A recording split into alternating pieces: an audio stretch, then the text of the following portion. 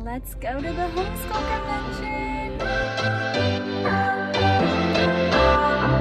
Alright you guys, so I am going to the Arizona Families for Home Education Convention. I just got here and parked and I am going to go find where the convention is and get signed in. So let's see all of the fun classes and the, the vendor hall. All right, so I came outside because there's a lot of people and I just wanted a place to sit and look at the class schedule. And so I got my name tag, I got my goodie bag, and I got the brochure. So I'm gonna show you guys what classes I'm thinking about. They have a lot of really great ones. So this is their schedule. It's all day at 10.30 I'm thinking about going to Jamie Erickson's. You guys, they have Jamie Erickson here. And it's Cultivating Curiosity Through Project-Based Learning. But I'm also thinking the essential tools for developing self-motivated children. And then at one o'clock, they have, I'm homeschooling with a toddler strapped to my leg. Amen to that. I need that. And then when more is less, a call to simplicity in your schedule. And then at 2.30, they have, which one was I looking at? This one right here. Creating your family's best learning environment and Pitching a Fit. I heard a lot of really great things about this book, so I kind of want to go check that out. And then 4 o'clock, they have Developing Lifelong Readers, Reaching Your Child's Heart, and Raising Independent Kids. Those are all the ones that I'm interested in. Um, I don't know which ones I'm going to do. I think I'm just going to kind of go with the flow and see where I end up but those are the classes that they're offering today.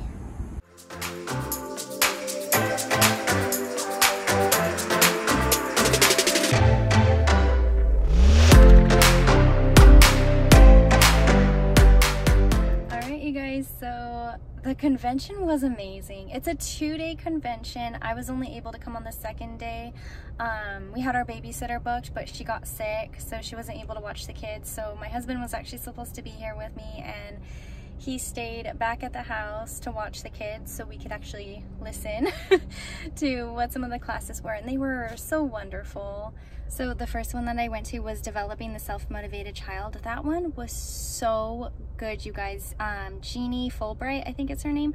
Uh, she was the speaker of that one and she gave so many great tips and really emphasized the Charlotte Mason philosophy of, you know, we think that we're helping our children by saving them from, from hurt and rejection and trials, but that when we take over and we don't let them explore and fail and, you know, use their minds to think about how they should do things, that we're really robbing them from just the ability to be able to grow into people who are motivated to do things for themselves and we kind of rob them from from certain things. And I see some of what she said like I went to this class with all of the kids that I'm homeschooling in mind and the baby but a lot of what she said I feel ties into how I could do things better for and with my teenager and so it was really nice because you know she's graduated and she's no longer homeschooled, but I'm still learning how to be a mom, even to an 18 year old,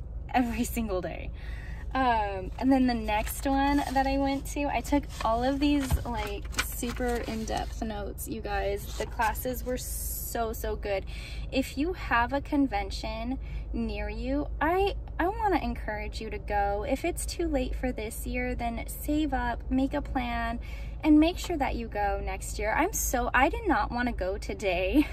you know, um, we had this plan, me and my husband were supposed to go and it was going to be fun. And, you know, I like that we can do it as a, a marital unit where both of us are getting, you know, information. We're both kind of getting excited. So when he couldn't go and I was leaving the house late on top of it, I was just like, I don't want to go. I'd rather just like stay home and get some stuff done. But I'm so, so happy that I came. Um, I feel like anytime I come to one of these things, I always leave like, yeah, let's homeschool, let's educate the kids. And that's how I feel right now. I'm like, yes, let's go love them better. and um, so the next class that I took was um, like homeschooling with a toddler strapped to your leg. And that one was with Jamie Erickson. If you guys don't know she wrote uh, homeschool bravely. And I'm currently reading that with some other YouTube mamas.